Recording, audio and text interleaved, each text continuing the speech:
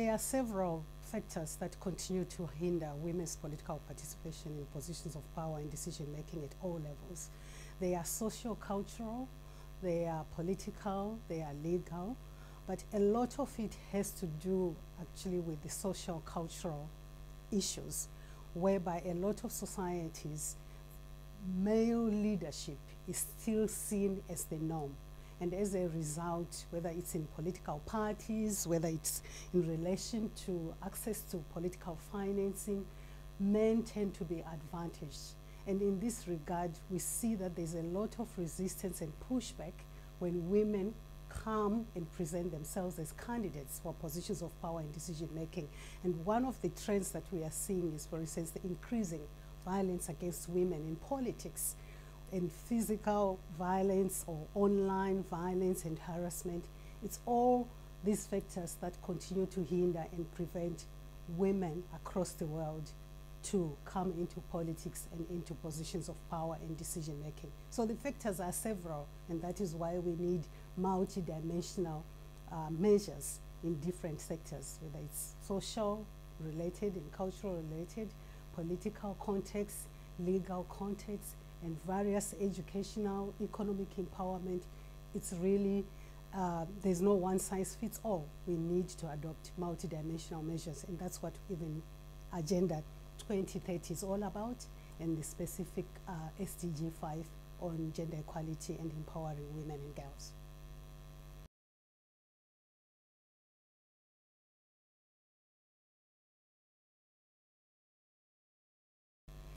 In several countries, um, there have been measures adopted to let accelerate or maybe create inroads or spaces for women to access and come into positions of power and decision making, such as gender quotas.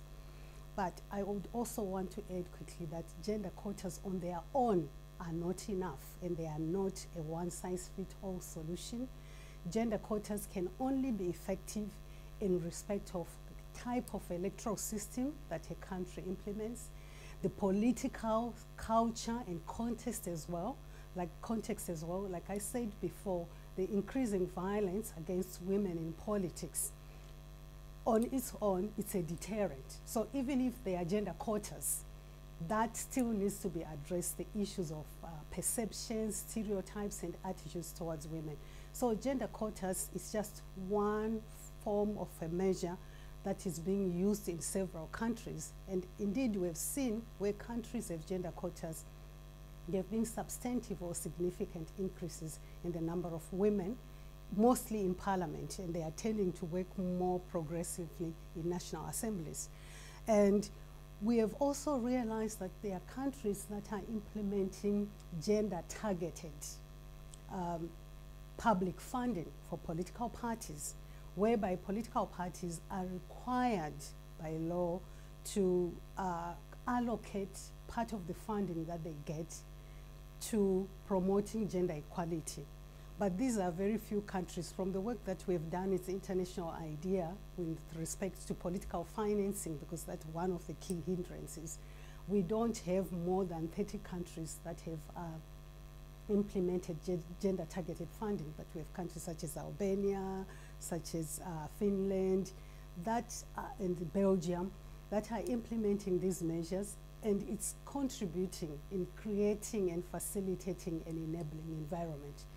Uh, at the end of the day, a lot of the measures, we also see that they are guaranteed in the constitution. Several countries in implementing gender quotas have articulated the commitments to gender equality and women's empowerment in the constitutional provisions, in the electoral laws, and these are measures that are needed. But beyond having these mechanisms and measures in the legislations, there is need for implementable strategies to translate them into reality. And this is an ongoing process. A lot of it happening with respect to gender awareness that has to happen in different countries at the different levels, starting within political parties, because this is where also a lot of the challenges arise from the internal party democracy processes.